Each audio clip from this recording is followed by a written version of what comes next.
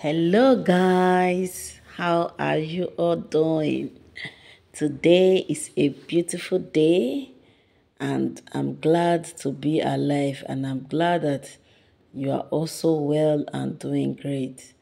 Okay, if you are just seeing my channel for the first time, my name is Arega Ehinome Benedicta, and I welcome you to this amazing channel to my old subscribers i say thank you for always tuning in to watch my video. And if you are new here kindly remember to subscribe all right so to make this delicious spaghetti is economy spaghetti dough but it came out very yummy.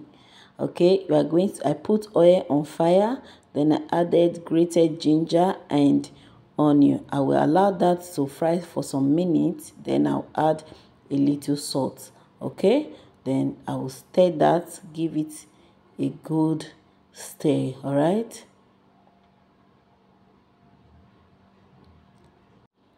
So I have some beef in the freezer. So I just decided to use it. I cut that in this shape then I'll just fry it for some minutes. I'll allow it to simmer for some minutes before adding the blended pepper, tomato, on and onions. Okay. Yeah, I'll add it just like this and I'll allow it to also fry for some minutes. Okay. Just give it a stir and allow it to cook. So while this is cooking, I already put water on fire to cook the spaghetti. So it has boiled. So I'll just go ahead and add the spaghetti to, to it. Okay, this will really come out so yummy. Alright, I am using about two spaghetti. So I'll add the second one, give it a stir, add salt and oil. Just like seen in the video. Yeah I'll stir that a bit. Yeah I'm adding the oil now. And salt. So I'll cover this to cook for 8 minutes okay? Yeah so this is it. It has boiled for 8 minutes. I'll just stir it again then pour it sieve it out While sieving, I, I will add more water, like cold water to it, so to stop it from continuous cooking. While I check on the on the sauce, okay. So now the sauce has been cooking for a while. I'll go ahead and add the meat stock. Then seasoning cube.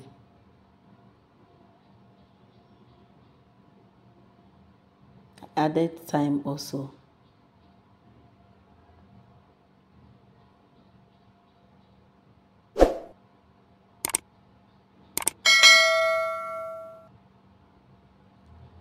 So I'll give that a miss.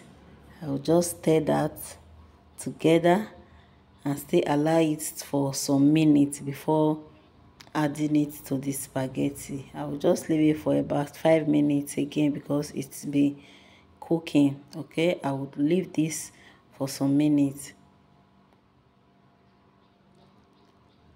Yeah this is our spaghetti.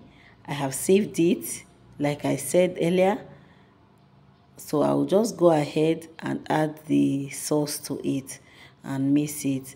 I also have some veggies that I'll be using for this spaghetti for this spaghetti recipe. We don't have so much to make this but it came out very nice okay? You can also try this in your home. It's very very nice. So I'll go ahead now and add the vegetables. I have carrots green pepper and yellow and yellow pepper. Okay? I'll mix that together. Just give it a good mix just like this. Mix it very well.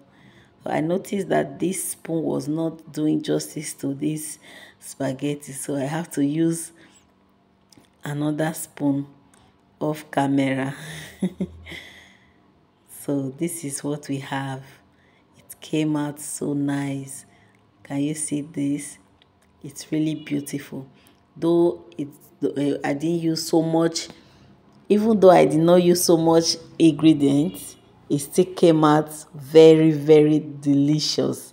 You can actually try this at home with less ingredient but if you have so much to cook it you can add as many protein you want to add okay? But this is what i have to make this and it came out so nice. So if you are still watching and you have not subscribed to my channel please kindly do so. Kindly do so because it will really encourage me to do more videos. Thanks for always watching my video also. I will see you in my next video okay? Bye for now this is delicious